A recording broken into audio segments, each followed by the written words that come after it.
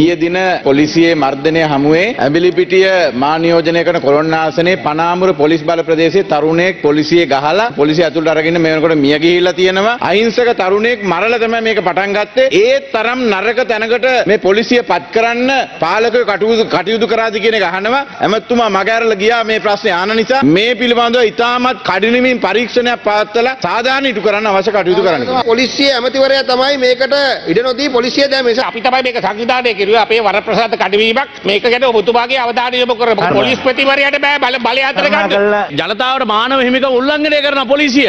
අපේ මිනිස්සු තමන්ගේ දුක කියන්න කොළඹට එන්න හදනකොට බස්වලින් බස්සලා පැය ගානක් රස්තියාදු කරවලා විශාල හිරිහැරයක් කරයි කියන එක අපි කියන ඔබතුමාට ඒ ගැන පරීක්ෂණයක් කරන්න කියලා. හරි කරුණා කළ ඒ සම්බන්ධයෙන් විවාදයක් ඉල්ලගන්න. කොළඹ නගරේ කිසිම උසාවියක් මේ වගේ නියෝගයක් දෙන්නේ නැතුව පොලිස්පතිතුමා ඊයේ මුළු දවසේම කොළඹ නගරේ එක වාහනයක් නවත්තන්න දුන්නේ නැහැ. දැන් ඔබතුමාලා පැමිණිල්ලක් කරලා තියෙනවා පොලිසියට. හරි. රජය අද හොඳටම සමගි ජන බලවේගයටයි ජනතා රැල්ලටයි බය වෙලා තියෙනවා. බොහොම ලැජ්ජයි. දැන් පොලිසිය උදවිය දාලා මේ රටේ දේශපාලනය කරන්න යනවා. පොලිස්පතිව පත් කරලා තියෙන්නේ මේ රටේ නීතිය සාමය ආරක්ෂා කරන්න. අද පොලිස්පති පොලිස්පති යෝගයේ හිටපු නියෝජ්‍ය පොලිස්පතිවරු වැඩි කොටසක් සිරිකොත නිදාගත්ත මිනිස්සු. ඒ දවස්වල එක්සත් ජාතික පක්ෂේ ඒ කාලේ සමගි ජන බලවේගයේ. අයෝ ඔන්න සෞඛ්‍ය නැතේ ලැජ්ජයි. ඔන්න එනවා අපේ උද්ඝෝෂණයට ජනතාවගේ විරෝධතාවයට ජනතාවගේ භාෂණයේ නිදහසට විරුද්ධව කටයුතු කරපු අයට අපි නීති මාර්ගයෙන් කටයුතු කරන්න අපි දැන් අවශ්‍ය පියවර ගන්නවා ආණ්ඩුව බයයි බයයි පොලිස් සැමතුමනි තමුන්නාන්සේ පොලිසිය දාලා අපේ විරෝධතාවය කඩාකප්පල් කරන්න ගියා. තමුන්නාන්සේලා අපි ස්තුතිවන්ත වෙනවා. අපි එකයි තියන්න ගියේ. තමුන්නාන්සේ අපිට 100ක් කරලා දුන්නා. තමුන්නාන්සේ අපිට 100ක් කරලා දුන්නා. පේනව නේද රජයේ විරෝධය? ආණ්ඩුවට තියෙන විරෝධය? මේ රට බංකොලොත් කළා. කාටද භාණ්ඩාගාරේ බාර දීලා තියෙන්නේ? මේ රටේ මුදල් බාර දීලා තියෙන්නේ බැසිල් රාජපක්ෂටයි නිවාඩ් කප්රාල්ටයි. නියම ඩබල සමගි ජන බලවේගය මේ ආරම්භ කරා විතරයි.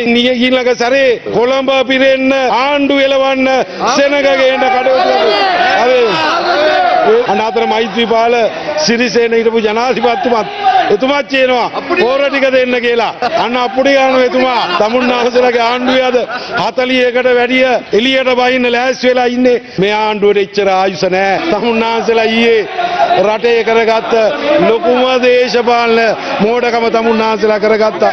ඇඹිලි පිටියේ තරුණයා මරපු එකේ වගකීම ආණ්ඩුව මේ ඇමතිවරයා බාර ගන්න ඕන. සරත්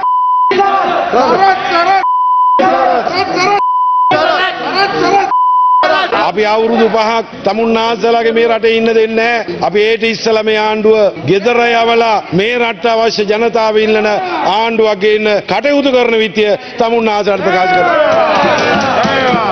විරුද්ධ පක්ෂය විසින් තාම බරපතල චෝදනාවක් කළා ඊයේ උද්ඝෝෂණයට සහභාගී වෙච්ච කෙනෙක්ව අත්අඩංගුවට අරගෙන පොලිසිය පහර දීලා මරා දාලා කියලා ඒක සම්පූර්ණ අමූලික බොරුවක්. මොහු මත්ද්‍රව්‍ය වලට ඊටාම දැඩි ලෙස ඇබ්බැව්ව කෙනෙක්. ඔහු නිතරම බිරිඳට සහ දරුවන්ට පහර දෙනවා. ඉගෙන බිරිඳගෙන් සහ දරුවන්ගෙන් විශාල පැමිණිලි තොගයක් ලැබිලා තියෙනවා. 2021 11 12 වෙනි දින ඔහුගේ දුව පැමිණිලි කරනවා මේ පුද්ගලයාට විරුද්ධව තමාට පොල්ලෙන් සහ අතින් පයින් ගහලා බරපතල තුවාල ඇති කරා කියලා දාහිස්සට මොහුව හොයනවා පොලිසියෙන් මොහු හැංගෙනවා. ඊට පොලිසිය ඔහුව අත්අඩංගු කොට ගන්නේ රෑ 10 මාට ඒ කියන්නේ මේ පෙළපාලිත කිසිම සම්බන්ධයක් නැහැ. පාන්දර ඔහුව අත්අඩංගු කොට ගත්ත පස්සේ පාන්දර 3:30ට පමණ ඔහු තමාගේ ෂර්ට් එකෙන් කැමිසියෙන් කූඩුවේ තියෙන කම්බියක ගැට ගහලා බෙල්ලේ වැලදාගෙන මිය යන්න ඔන්න මෙන්න තියෙනකොට තමයි රාලහමි දැකලා ඔබ වහාම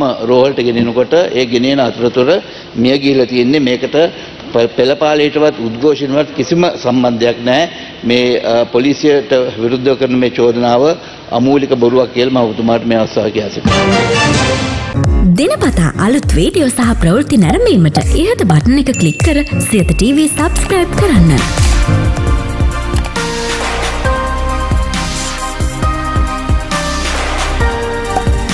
වීඩියෝ ගැන මුලින්ම දැනගන්න මෙම සීනුව කලික් කරන්න.